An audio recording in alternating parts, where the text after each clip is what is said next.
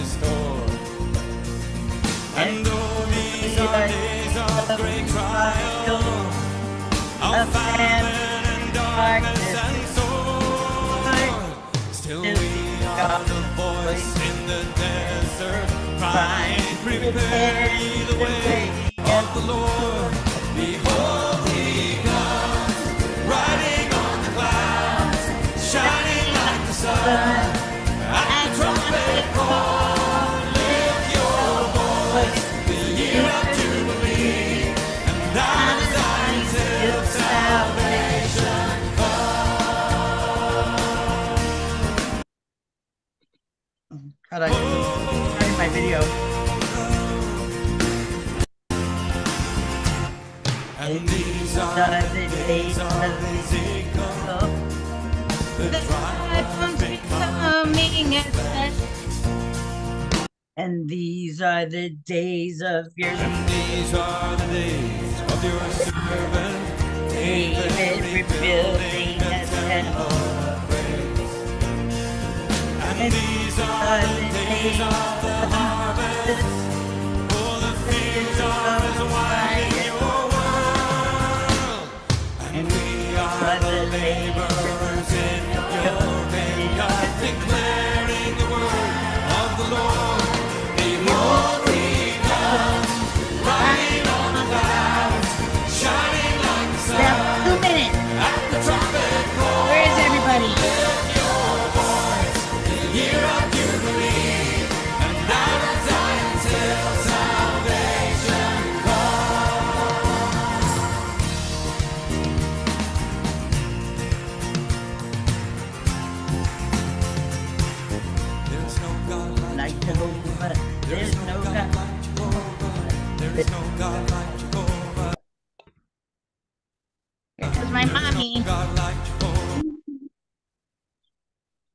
my mommy. Hello, mommy. So I'm going to start with this, and then we'll get started to prepare the way of the Lord. And uh, the the lion of Judah is, of course, our king, right? Um, and this song talked about um, to prepare the way of the Lord because He's coming back. But how he was the only one able to open up the scrolls that the prophets had spoken that he would come and that he would become flesh and bone right? And so um, that he would be the only ones that the only one that was able to to um, prepare uh, or to tell the earth that he was here and then he was coming back for his church. So um, this song is called lion. It's um it's by elevation worship um, it's a it's a great song to get into to worship um, because he's asking each and every one of us to prepare our families, prepare our hearts, prepare the people around us, right, for for his return. Because if you look around at the world today and what's going on in Israel, he's coming back. He's coming back quicker than we we could ever imagine. People think that this thing was just gonna, you know, pass overnight or it was gonna last day or two or, or, or a week, but it's here to stay. This is the beginning of the tribulation. This is the beginning of his return. And and a lot of people are, are not taking this as serious as it needs to be. But he's coming back. And before you know it, the rapture is going to be upon us. And those of us that that truly believe will be gone in a in a blink of an eye. And th- there will be those that are left behind. And i know that you don't want your loved ones left behind right? So god has been preparing this message in me for probably maybe three months now. Um i think i spoke about it maybe three months ago denora right? Like god was really preparing this next message that um that we're going to get into right now. Um but he didn't let me release it yet. So we had other Bible studies going on, right? And then all of a sudden last week, when Veronica and I did the Bible study on good and evil, I felt God say, now. And wow, crazy, right? Then everything started happening in Israel and, and you know, the Hamas and and and all these things started going on. It's because he's returning, he's coming back. And um, I'm not sure if who's familiar with what a prophet is, but there are prophets, there are end time prophets, there are watchmen, there are different different things that people are on these end times. And so we've got to be aware of the gifts and the callings that God has placed upon us to be. Okay. I am I am positive that Veronica is an end time watchman. Okay. So Veronica can see things um, out in the spiritual realm that a prophet like uh, Denora or myself, we're we're so focused on what God has to say, we don't have we cannot have that outer vision of the surrounding of things that are coming in. So I mean, everything is pieced together. So what God has laid upon my heart to share with you guys this week is um and it might go into next week too because this is really important stuff. Okay. So um, I want you to get a pen. I want you to get a, a paper because this this is this is your salvation. Okay. Because in the book of Revelation, God opens up to the end time churches, right? And you would think, why, why is God talking to the end time church, meaning the last days, which we're in? Why would he be bringing church stuff from way back in the Old Testament or when he walked? To old times. Okay. It's because he's trying to get us to examine ourselves. Now, when he talks about when he talks about the church, he's not just talking about the church building or the people in the church, right? He's talking about us because who's the church? We are, right? So we as the church need to examine anything that is in us that Christ is trying to get out of us so we can go go up when the rapture occurs. So um, John 3 19, the light has come into the world, and the people love darkness rather than they love light. What do you see within the world today? So many people are doing evil that is now good, and good is now seen as evil, right? So people are loving the darkness that is in the world, the things that we have said, okay, we're going to go ahead and allow that and, and it's coming against what the word of God says, right? Let me see. Come on. So it doesn't want to pop up.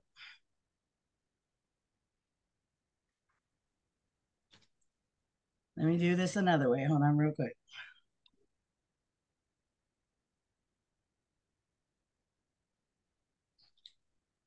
Okay, so we're gonna go to the book of Revelation, okay? Because computer wants to be retarded. Can everybody still hear me? Yes, I can hear you. Okay. So let's go to the book of Revelation. Um, Denora, if you want to get where the end time churches are, I think it's in two or three. While I try to get this going.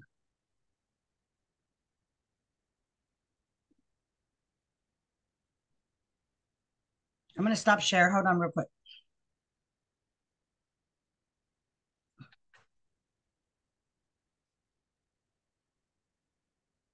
Oh, it says to the message to the churches. Yes. And chapter two, that's when he starts. Yes, go ahead and start there. I'm trying to see if I can pull this screen back up. You want me to read it? Yes, please. Start with the, the Church of Eph- Ephesia. Okay, I write this letter to the angel of the church in Ephesus.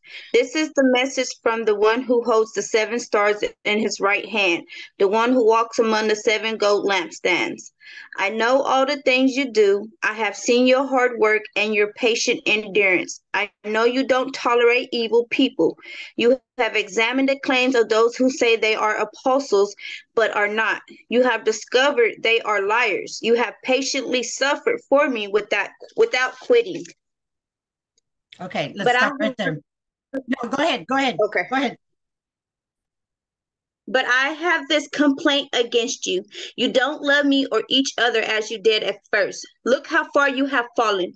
Turn back to me and do the works you did at first. if you don't repent, I will come and remove your lampstand from its place among the churches. But this is in your favor. You hate the evil deeds of the Nicol- Nicolaitans just as I do. Anyone with ears to hear must listen to the Spirit and understand what he is saying to the churches. To everyone who is victorious, I will give fruit from the tree of life in the paradise of God. Okay, let's stop right there. So, examination time. We're talking about the Church of Ephesus. Can everybody see my screen now? I can see it. Yes. Yes, I can see it. Okay. Uh, Abby, can you see that? Just shake your head. I can't hear you. Sorry. Yes, I can. Okay. So, uh, examination time. The Church of Ephesus, right? The church that lost its love for Christ and his teaching. Now, when you think of uh, you've lost the your, your love of Christ, right? Um, a lot of us may be thinking, well, how can somebody lose their love of Christ, right? So I'm really guilty of this. Okay. So when I first started with the Dream Center, um, I'm not gonna lie, like I was, I was go hard. I was all about serving, serving, serving. I loved what I did, right? But then it became a job to me. It became a chore to me, right? Like Yes, I ma'am. had to go and do this, right? Not not that I wanted to go anymore, but now I was obligated to go and do this. Let's let's say prison ministry. I was going and going and going, right? And then it became like, oh man, I gotta go to the prison today, right?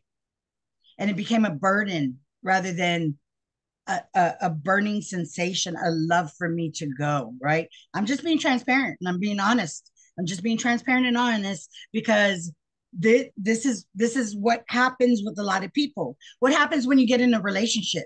Oh, you love that person. You want to spend 24 hours with that person. You want to talk to that person on the phone, right? And then all of a sudden it starts to dwindle away, right? And Mhm. if they come home for dinner, they come home for dinner. If they don't, they don't, right? So, I mean, we're being honest, right? So that's what God is saying here. When I would go to the Dream Center and I would love to go to the Dream Center and serve, it was because I love serving the people. And then, like during the amount of time that I was there, people would What? start fight. They would start hear. Oh, can you hear now? Then um, the people would start um, fighting over like cake. You know what I mean? Like who was going to get the bigger cake than the other? Who was going to get the cupcakes or who was going to get the bananas and who was going to get the oranges, right? And so just seeing that kind of stuff kind of dampened my fire, right? So now I didn't love to go and do this anymore. So we have to remember that when when um, we are burning for God, that consistent love, that consistent love of of of of us wanting to serve Him, right? Of us wanting to do these things. Not that it's an obligation, but that we should want to do these things. We should love to do these things, and it shouldn't become a burden or it shouldn't become a hassle.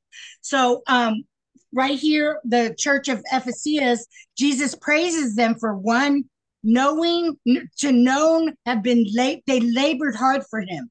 So, like I was saying, I labored hard for him, right? I, I served, I served, and I served. And um, the church of Ephesus, they didn't give up, they continued, right? And that's what I was doing. Even though my passion had died out, right?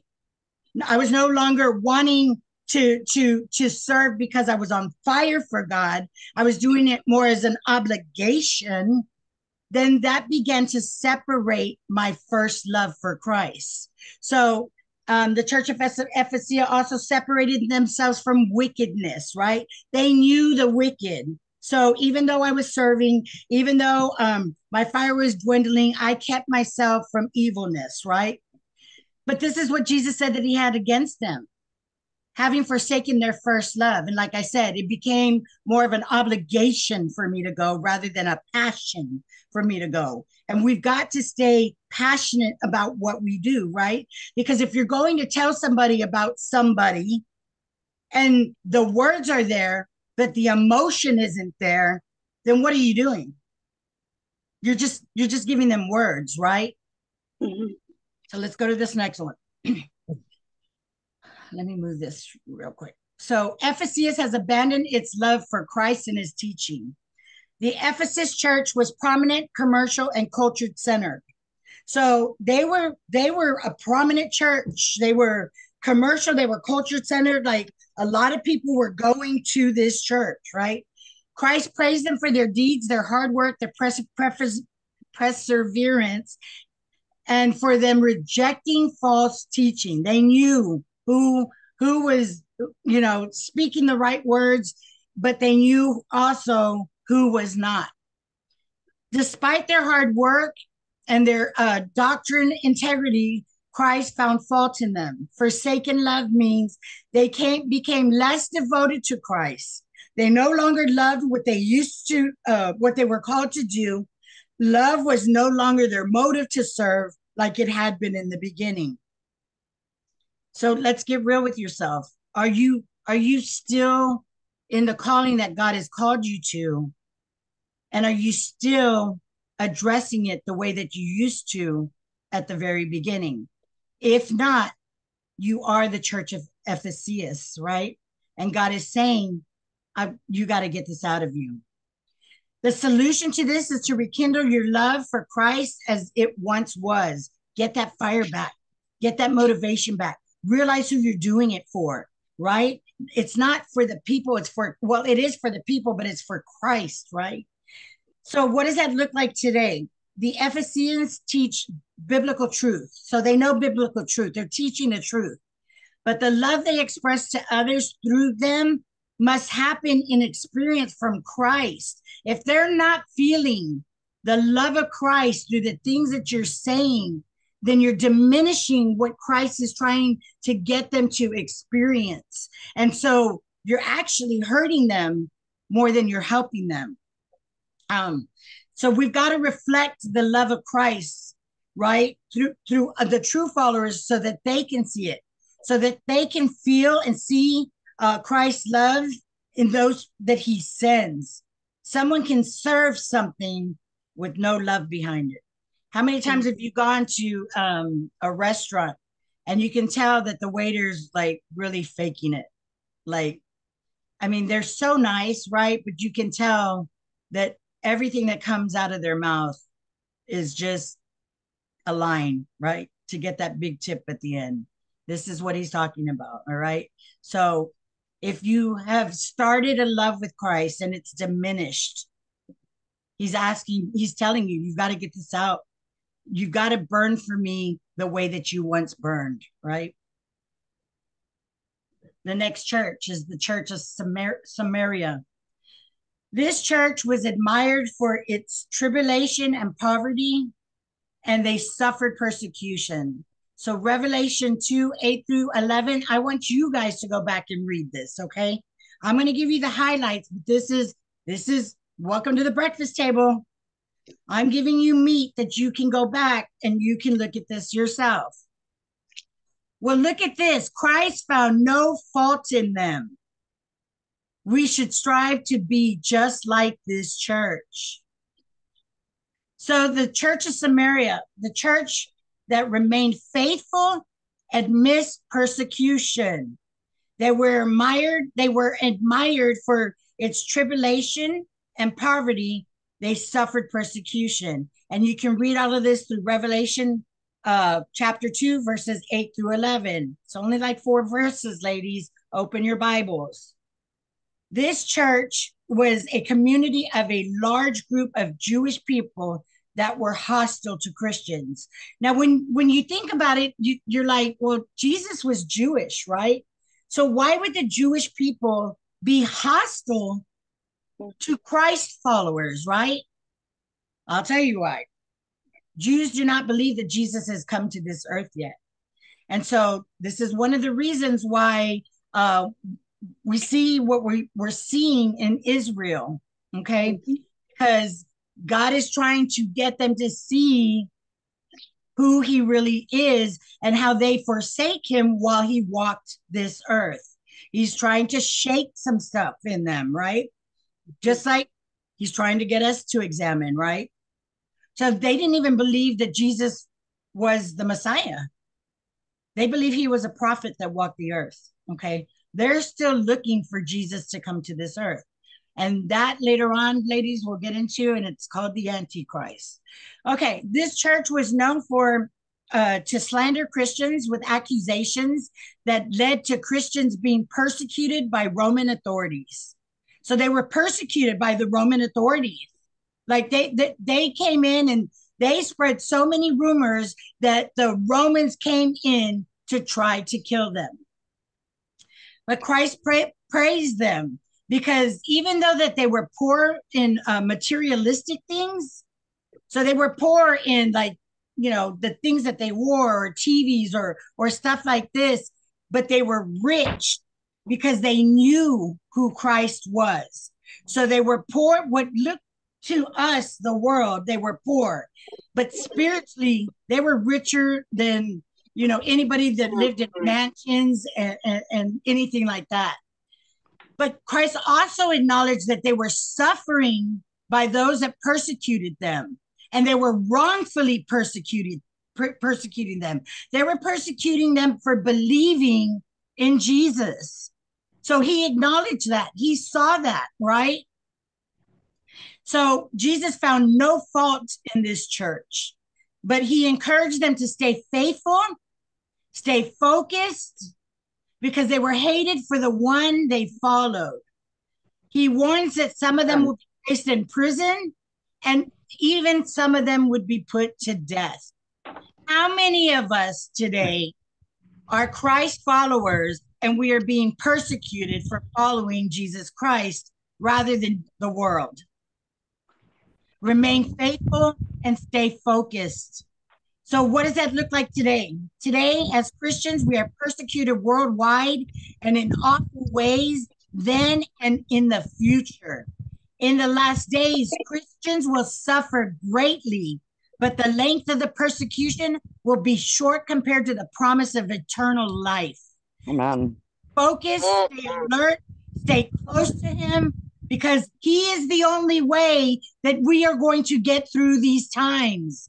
There is no mm-hmm. other way. If you do not know who Christ is, if you cannot see that finish line and the reward on the other side, you will give up. You have to know who Jesus Christ is and who he is, not to the world, but to you. It doesn't matter how the world sees him but how do you see him? Do you see him faithful? Do you see him enough? Do you see him as a provider? Do you see him as a healer? Do you, how do you see him? Come Because it doesn't matter if I see him that mm. way. How is that going to help you? If you don't know him, you better get to know him really quick because he is coming upon us like the, those those clouds are ready to split. Whoa. So you better know who Jesus Christ is to you. Sorry, I get a little passionate about Jesus. Hallelujah. Okay. So this is the church that God really wants me to spend some time. in. Um, this is this is America today. This is this is the throne of Satan. Okay, this is the church of Pegamos. I, I don't know if I pronounced that right. Um, so if you go to Revelation 2, verse 12, it says, You have grown cold. Then to the angel of the assembly of the church of Pergama, write these words I know where you live, a place where Satan sits enthroned. Look at America. Look at everything that is going around in America. Satan is sitting in America. Come on. There are different gods everywhere in the United States as we speak. There's the God of homosexuality. There's the God of of abortion. There's, I mean, there are so many gods throughout the United States, and we've become comfortable. It's okay. Let's just turn our eyes on it, right? As long as it's not happening in our household, we're okay. Wrong. Because if you're not speaking against evil, you're accepting evil, right? Amen. So, um, this church was located where there were many statues of many gods people worship. They needed to repent for false teachings. Now, back in the day, um, in this church in this city, they actually had a statue, and this is what he looked like. Does anybody know who this is? It's Zeus. So Zeus stood, sat in the center of this city, and this is the Pergamus Museum today, right? Um, is this one right here? And Zeus sat right here. Zeus was a Greek god, okay? And they believe all kinds of stuff. But this was surround this was in the middle of that city. So when you went to the city, all you saw were the temples of many different gods that were displayed in the center of the city. So here we are, good and evil. And this is what we were talking about last week, right? When Veronica brought the word about what is good and what is evil, right? So to learn more about the church of uh, Pergamus, um, you can read that in Revelation 2, verses 12 through 17. So Jesus did praise them for holding their faith in the me- midst of uh, persuasive pagan influences. So when we're here in America, so many people are trying to change our point of view, change our mind on homosexuality, change our mind on abortion, change our mind on um, allowing two people, but, but they love each other. And isn't it about love, right? So we should allow two people to marry each other, right? Wrong. They're trying to change your influence on the way that the Bible sees things.